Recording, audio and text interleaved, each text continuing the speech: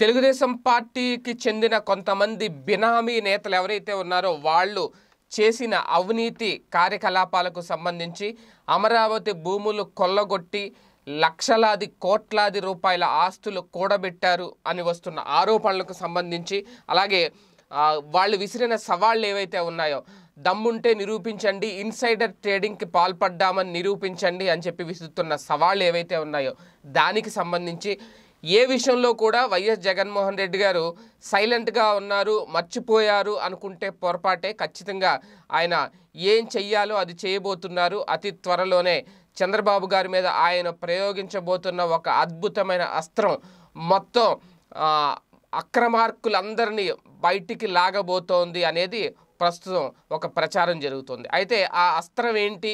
నిజంగా తెలుగుదేశం పార్టీకి చెందిన బినామీ నేతలు కోట్ల రూపాయలను వెనకేసుకున్నారా ఇన్సైడ్ ట్రేడింగ్ ద్వారా? ఇవన్నీ కూడా త్వరలో వైఎస్ఆర్సీపీ ప్రభుత్వం చేపట్టబోతున్న ఒక విచారణ ద్వారా మొత్తం అవినీతి భాగవతం మొత్తం వెలుగులోకి రావాలి ప్రజల ముందు ఉంచాలి అనే ఉద్దేశంతో ప్రభుత్వం ముందుకెళ్తుంది. అయితే ప్రభుత్వం ఇప్పటికీ అదే మాట మీద కట్టుబడి ఉంది. నాలుగు వేల డెబ్బై ఎకరాలు అక్రమంగా దోచేసుకున్నారు. నాలుగు వేల డెబ్బై ఎకరాలు బినామీ బిల్ల పేర్లతో కొనుగోలు చేశారు అమరావతి భూములను ఏదైతే ఆధారాలతో సహా బయట పెట్టబోతుందో ఆ ఆధారాలు తమ దగ్గర ఉన్నాయని చెప్పి అసెంబ్లీ సాక్షిగా చెప్పిందో ఇప్పుడు ఆ ఆధారాల ఆధారంగానే మొత్తం విషయం బయటికి తీసుకొచ్చేందుకు లోకాయుక్తను ఏర్పాటు చేయబోతుంది.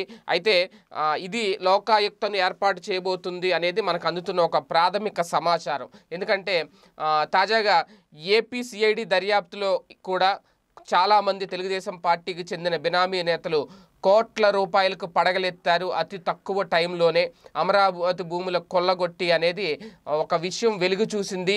ఏపీ సిఐడి ద్వారా దర్యాప్తులో అనేది ఒక తాజా అంశం. అయితే అంతర్జాతీయ కుంభకోణానికి తలపించేలా ఉంది ఈ అమరావతి రాజధాని కుంభకోణం అని చెప్పి ఇందులో ఎవరెవరు ఉన్నారు? అంటే తెలుగుదేశం పార్టీ అధినేత చంద్రబాబు గారు ఉన్నారా? లేదంటే ఆయన కుమారుడు లోకేష్ ఉన్నారా? లేదంటే వాళ్ళకి సంబంధించిన వాళ్ళ కుటుంబ సభ్యులు కానివ్వండి వాళ్ళ బినామీలు కానివ్వండి ఎవరున్నారు అనే దాని మీద ఇప్పుడు సిఐడి విచారణలో మొత్తం ఒక్కొక్క విషయం బయటికి రాబోతుంది.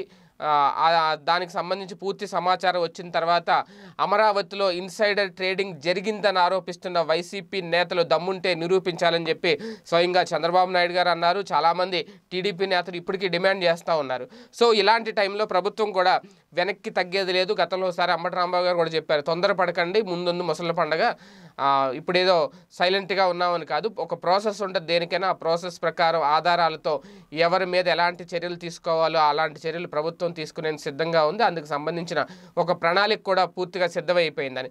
ఇప్పుడు ఆ ప్రణాళికే ఇన్సైడర్ ట్రేడింగ్పై లోకాయుక్త విచారణ చేపట్టేందుకు సీఎం జగన్మోహన్ రెడ్డి గారు సిద్ధమైనట్లు పూర్తిగా తెలుస్తుంది. అంతే ఇది క్యాబినెట్ కేబినెట్ మీటింగ్ తర్వాత అయిపోయింది కాబట్టి ఇప్పుడు దీనికి సంబంధించి ఇన్సైడర్ ట్రేడింగ్ అక్రమాలపై కూడా ఆల్రెడీ దానికి సంబంధించి కేబినెట్ భేటీలో చర్చించారు. ఆ చర్చ తర్వాత లోకాయుక్తకు ఇప్పుడు అప్పగించబోతున్నారు ఈ కేసుని. లోకాయుక్తకు అప్పగించిన తర్వాత దాదాపు నాలుగు వేల ఎకరాలు కొల్లగొట్టిన టీడీపీ నేతల భూభాగోతం ఏదైతే ఉందో దాన్ని లోకాయుక్త విచారణ జరపబోతుంది. మరి ఈ విచారణలో ఎలాంటి నిజాలు వెలుగు చూస్తాయి? ఈ కేసు ఎలాంటి కొత్త మలుపు తిరుగుతుంది?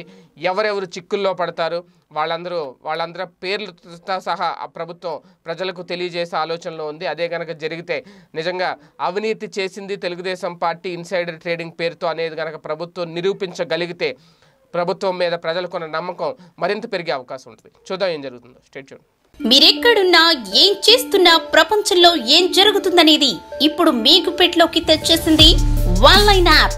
Political movies రాశి ఫలాలు ఆరోగ్య సలహాలు సీరియల్స్ విశేషాలు. ఇలా ఒకటేమిటి? బోలెడన్ని విశేషాలను మినిట్ టు మినిట్ మీకు అందిస్తుంది one line app. So late ఎందుకు? డిస్క్రిప్షన్లో ఉన్న లింక్ ద్వారా వన్ లైన్ యాప్ డౌన్లోడ్ చేసుకోండి. One line it's for every